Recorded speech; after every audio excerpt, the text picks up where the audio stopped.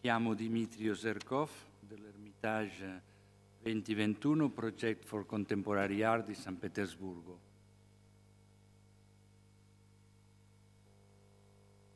Contemporary Art and New Media in Hermitage Museum.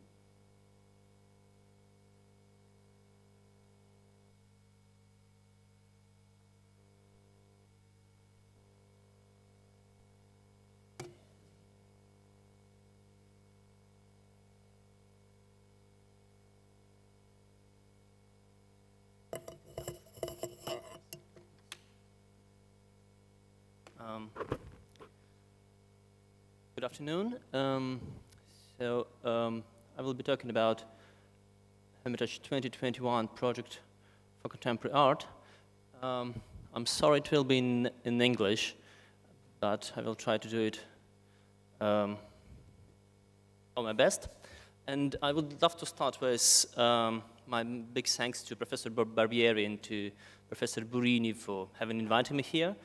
And I won't be as well original by saying that my name here is written wrong. I'm Dimitri, not Dimitri. Uh, but I very much appreciate that many futurists and, you know, Professor uh, and, uh, Filippo Tommaso Marinetti would love it, uh, this sort of spelling. But anyway, I'm Dimitri. Um, I will be talking about Hermitage 2021. It's a project for contemporary art in the Hermitage. And um, as you know, uh, the Hermitage is sort of very old museum uh, the size of Louvre, the size of British Museum, founded in 1764. And that's one of the biggest and richest museums in the world and most important museum in Russia. And um, the museum, as it is now, um, facing this conference, saying new perspectives, new technologies, they're mostly new perspectives and new technologies. Because as you will see, we have no Facebook account yet, and our website is in process of renovations. And um, what we try to do there is to build sort of dialogue with old masters rather than inventing new media. And uh, as I said, we, um, we face the new technologies as one of the perspective.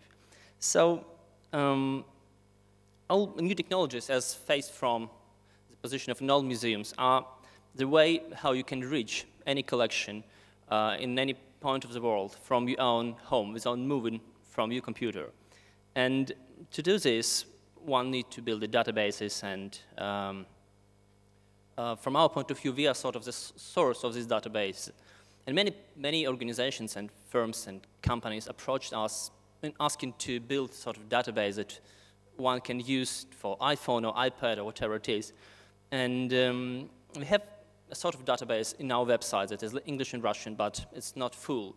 And if you let somebody to, um, to do your database, um, you need to have a curator sitting next to you because if you spell, you know, not a Russian name and not an English name, but, you know, a, a Dutch painter of 17th century or a Babylon um, plate or an, an Egypt name, you need somebody to check your spelling. Otherwise, a button pressed wrong and you lose all the data because once the spelling is wrong, you can't find it again.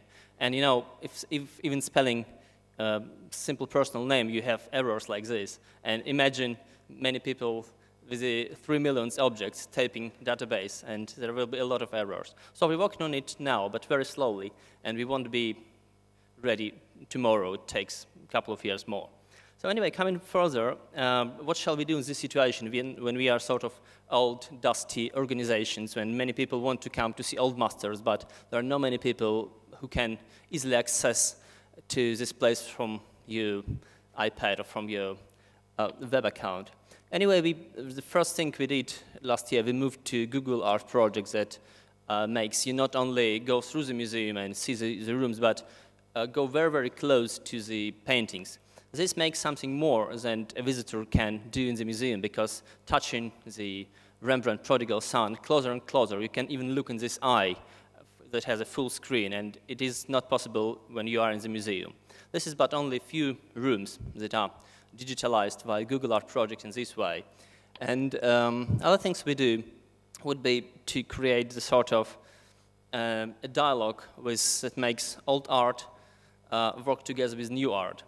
And we, we started a um, test project in 2003 by putting uh, but showing Bill Viola on the left side here, um, a famous video that were shown uh, um, um, um, in many places. And it was the first time we brought video art in the Hermitage Museum. And we understood that many people would mm, take it as a shock when you put the, old, the new video next to the old master's paintings and drawings. And we created a sort of uh, long line, uh, the existing line, and um, put it next to Bill Viola video, the, uh, image of the famous fresco of Pontormo that is here in Italy. And uh, that's the fresco that Pontormo was inspired, that Bill Viola was inspired when doing his video. And in our collection, we have some Bill, uh, some Pontormo drawings and uh, paintings that we put next to this to make a sort of classical reply to Bill Viola.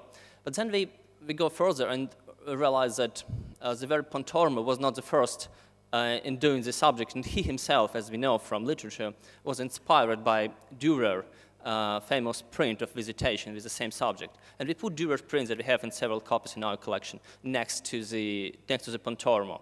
In that way, we make a sort of long bridge for 500 years from Dürer to Bill Viola via Pontormo, different, different, passing different stages of art and art history, and coming from um, Dürer that had several copies of print to Bill that had several copies of this videotape.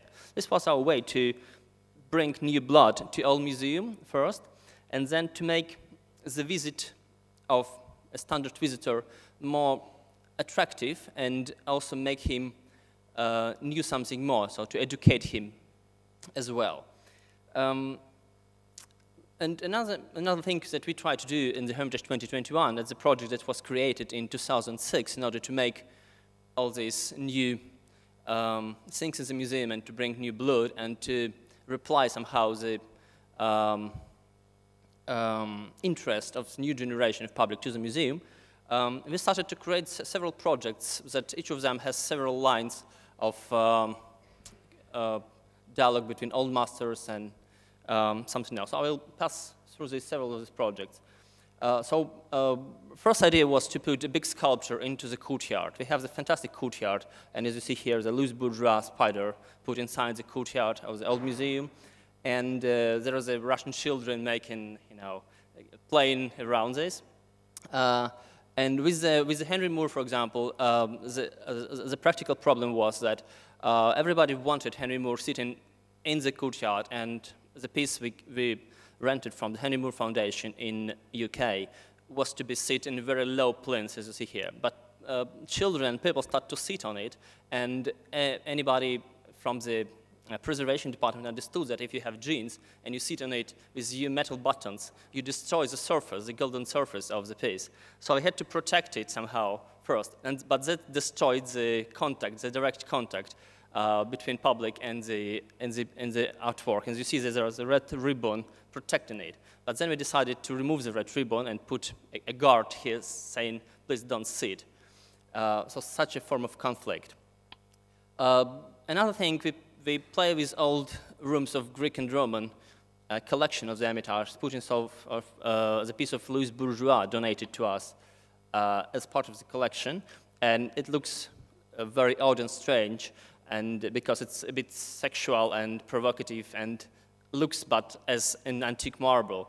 Uh, so the first protest I got were from uh, children uh, groups that the guide said they don't want to pass by because it's very explicit and they have to change their route not to let children ask about this. So we start to educate uh, people who work with children saying how to explain this because it's not very difficult to explain what sexual is effectively. And you need to know somehow because you have the same in the sculptures. So uh, the big exhibition, the big intervention of contemporary art uh, in the museum was in 2007 when we did USA Today exhibition, trying to put big um, images of living American artists into the collection, into the old building. And there's some parts of the installation, like a big chandelier done of uh, blood and sperm of the artist put inside of the old room uh, that shocks the public, or the vomiting cat, or there's a very, uh, uh, uh very eloquent image uh, showing the Russian lady who protects the room. is uh, museum staff, and the no-section one of me contemporary art object installed direct on the floor. She was put there to say, because everybody was worrying that if somebody touches this, it will fall down, because we used to hang the piece on the wall, not to install it on the floor. So the, our guard city that one person is always there to, vigil, to, to vigilate, nobody touches this. Um, anyway, um, another idea was not just, you know, intervene uh, to make a shock to the public, but to make some dialogue in between architecture. So we invited Wim Delvoye, the famous Belgian artist, to put his Gothic architecture in form of big bulldozer into the classical interior of the, of the museum. And you see the artist posing next to the you know, classical uh, Rastrelli architecture behind him in contemporary Gothic architecture done by the artist. And uh, this image you see the Russian public like experiencing this. So we, we want to put a ribbon around it because the, uh, everybody wanted to touch it, and there was a, a problem that people, you know, uh, uh, uh, are picked with the, the, piece or, you know, with the eye or something. And uh, for, the, for the children opening, we, we, make some light around it, but put a ribbon is, mm, um, around the piece. So the Newspeak British Art Now, it was the main intervention to the big, uh, to the, to the biggest enfilade of the museum in 2009. Um, this was the creation of the pieces from Saatchi collection put into this fantastic uh, Nicholas Hall, one of the biggest museums hall used for temporary exhibitions. Uh, the idea that we uh, used in this event was to construct a more clever dialogue with the uh, paintings existing in the collection. So when selecting the uh, list of objects, um, I very much looked what we have in the collection and what can be uh, a dialogue in between. So on the right side, there are some small red pictures that effectively speak with the, with the Dutch, with all Dutch masters. The picture on the right side uh, is a big gate that um, simply speaks uh, visually with the famous Peter the Great gate in St. Petersburg. And um, making some you know, expensive objects, we also try to do some education, like pa painting the big, uh, putting the big realistic paintings um, of the war uh, somewhere in Vietnam that refers very much to Russian eye.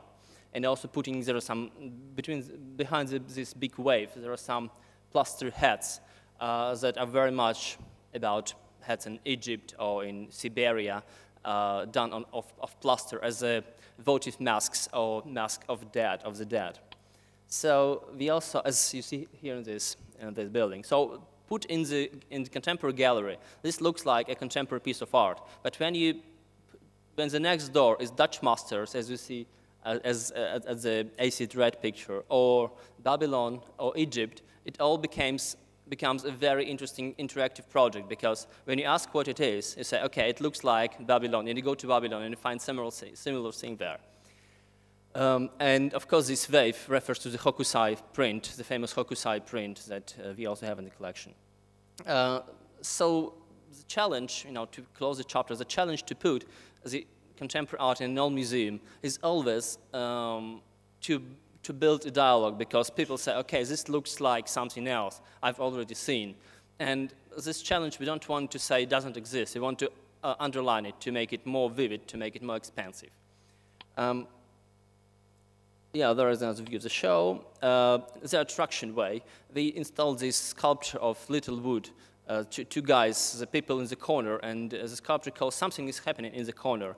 And, uh, so on the right side is a sculpture done of real clothes and um, um, model, models of people. And on the left side, there are real people on the, on the exhibition opening. And when you first pass by the sculpture, say, okay, is somebody looking, people are looking about something in the corner, you just pass by. But when, when you return, you see the same people are still there, and you suddenly realize it is a sculpture. And you, uh, it's sort of sh shock and sort of very attractive, a way of Disneyland would do. Uh, but we say, okay, we have to have this clever way of old paintings and the attractive way of simple emotional reaction of the public.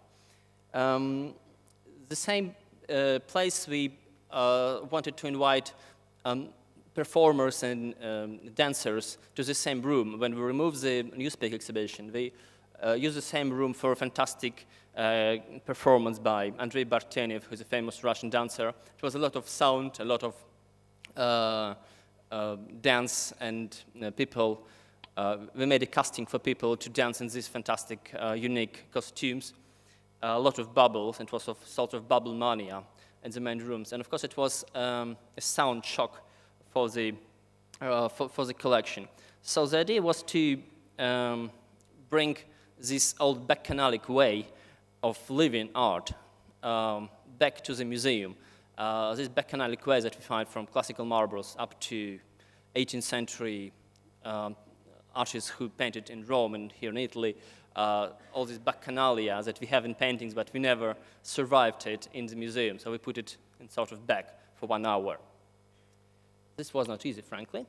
Um, another intervention to the Elder Garage, that exhibition is, is, is, working now. They asked Antony Gormley to uh, get in our classical collection. So he removed all sculptures from one room, put his own pieces, and um, these pieces are installed on the artificial floor, the same floor as, as the next room, where he put antique marbles down from the pedestals, and in a way that the spectator is on the one level between uh, Antony Gormley's pieces uh, done in metal and uh, the antique marbles in the next room. And you're sort of the same size, you're on the same level. And it's very interesting, you both interact with contemporary sculptures and the old um, museum pieces that you used to know in the collection. And for example, this famous, uh, I'm sorry, uh, this famous Venus of Taurida is one of the key work on the left side. It's one of the, of the key work of the collection uh, brought by, uh, by Peter the Great from Italy.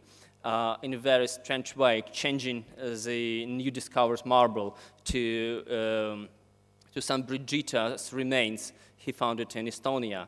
So, and when he brought this piece into, into, into Russia, in very, the very beginning of the 18th century, he installed this sculpture in his summer garden in an open air. And people at that time were so shocked that they were looking for stones to destroy this, this piece because it looked like a naked woman, nothing else for, for, for people in, at that time. And Peter was to protect this, this sculpture at that time, putting two soldiers next to it day and night in order to protect the fantastic antique marble. And now it is put down from the pedestal, because in Soviet era it was on the pedestal and always uh, venerated like one of the most important images in the collection. And now we put it down and anybody can interact with it like uh, a real, real person that is that side and that size. Anyway, so this is the interaction of new um, art in old museum and the new challenge we did is the exhibition we've done in Venice this year for this Biennale, that of Dmitry Prigov. Um, Prigov is a Russian artist uh, who produced a lot of, you know, thousands, hundreds, hundreds of thousands of drawings of that size, of sort of installation project. Uh, for a general view, they look a little bit boring because you just see the same room and the same thing happening in there. And um, um, we decided to build this installation here in Venice, and um, effectively this exhibition is working now uh, 200 meters from here in Ca' Foscari um, University Galleries. And uh, so several installations, we build it in U by uh, creating um, his images into the, into the old palace. What we try to do is to uh, arrange his images somehow, like putting uh, it's on the right side and the, is a part of the installation Mahler that you've seen here on, on, a drawing. And uh, the big, uh, uh the, the, big pupitre also goes to the ceiling. And on the left side is half of Hitler, is the drawings that he, he pretended Hitler did. And we put it in, the, in this way um, to somehow interact the space. The, the cans uh, that he painted and so many things.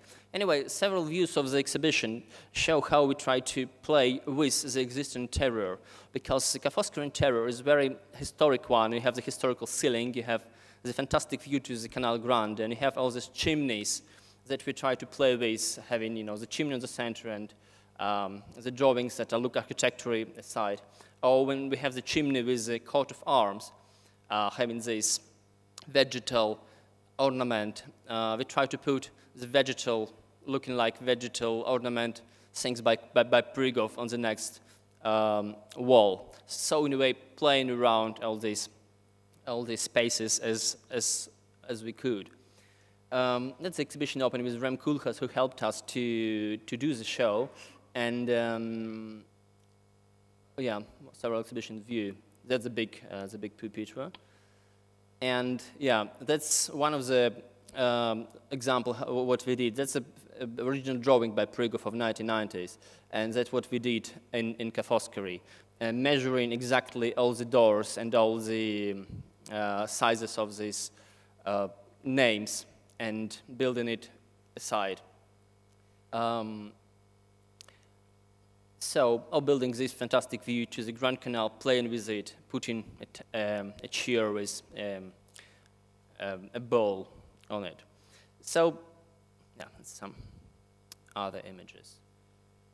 This one, we, we try to play with, with um, uh, original existing interior, as you see, and as in all uh, public places, you have to have this coperta antifiamma on the wall. We couldn't remove it. So uh, we, we try to put the similar pieces by Prigov that look a bit odd next to the space, but anyway, it plays with the interior. Um, and we did it for the Biennale visitor that is mostly, you know, a globetrotter that passes through many events and that picks up with eyes this and that and that, and he likes it or he dislikes it. And this sort of image that faces you on the second floor of the palace. And um, they also use, um, so Prigov was a kind of um, multimedia person. He was a poet, he was a, um, um, a performer, he was a, visual artist, and he played music himself. So we put all these together, putting these uh, sound speakers on the top of several rooms. So when you come in, you see not only uh, pictures done by Prigov, but you hear his voice, or you hear the music from his own collection of CDs. Mm, and uh, when you come in, you see uh, several videos done by Prigov. And in order to go to the exhibition, you need to pass through the, the screen. Otherwise, you, you can't reach the main exhibition space. And in order to pass through, you, in a way, pass through the Prigov's head and become inside his head. That was a similar but uh, uh, quite an interesting idea for, for this exhibition.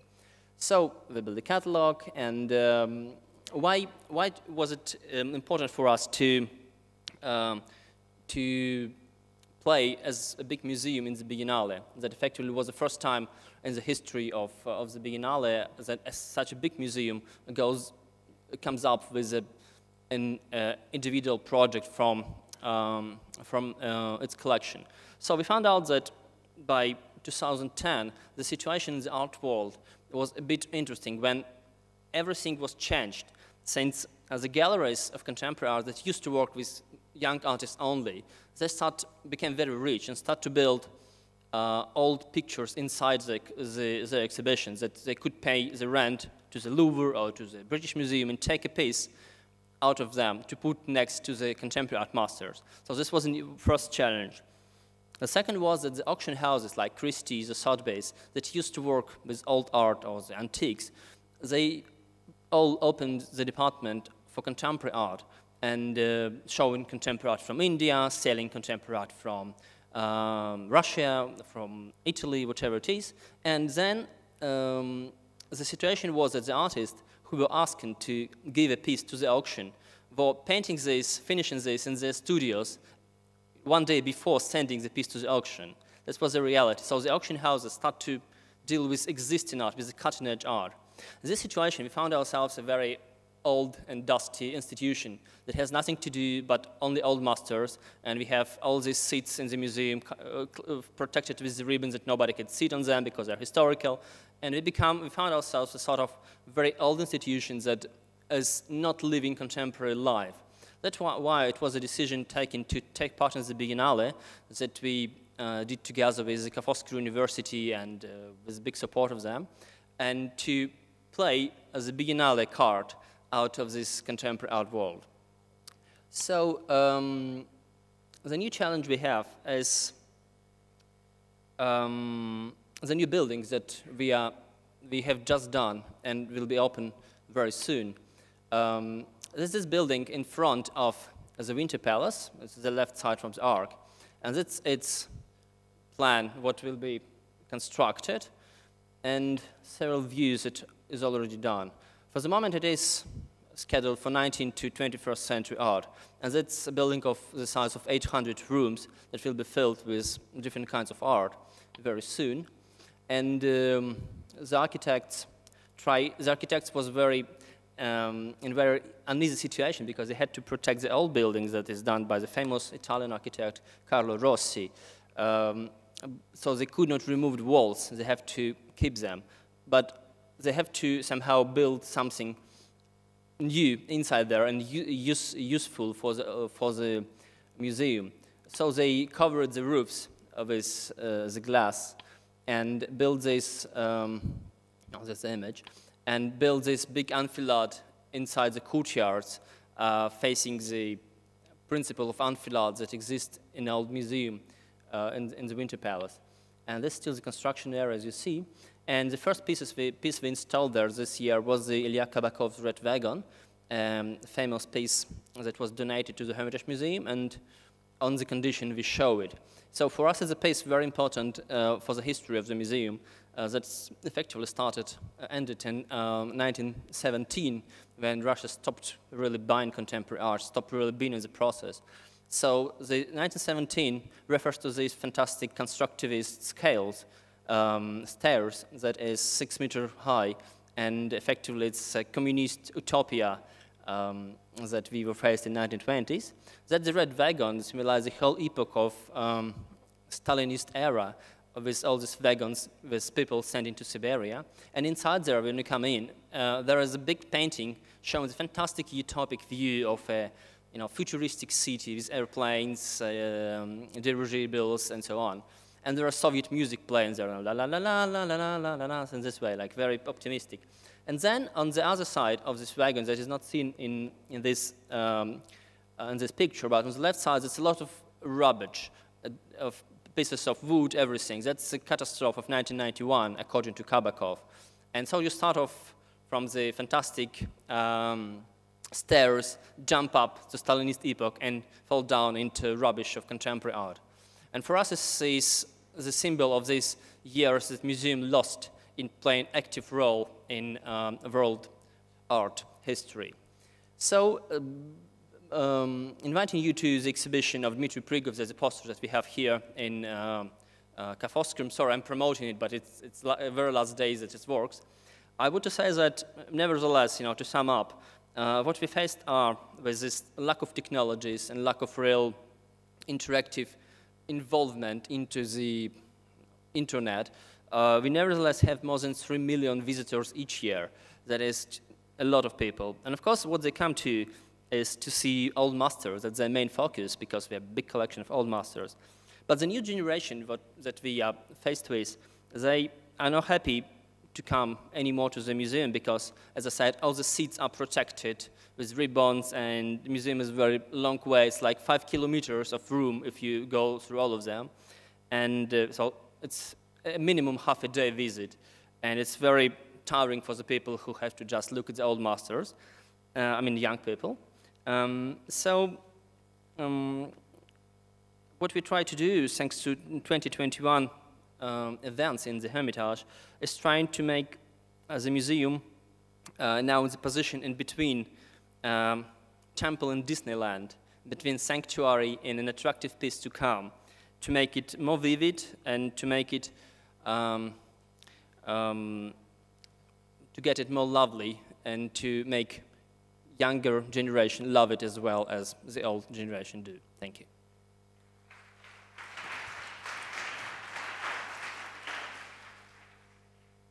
Grazie Dimitri Oserkov. Adesso facciamo una piccola pausa di 10 minuti.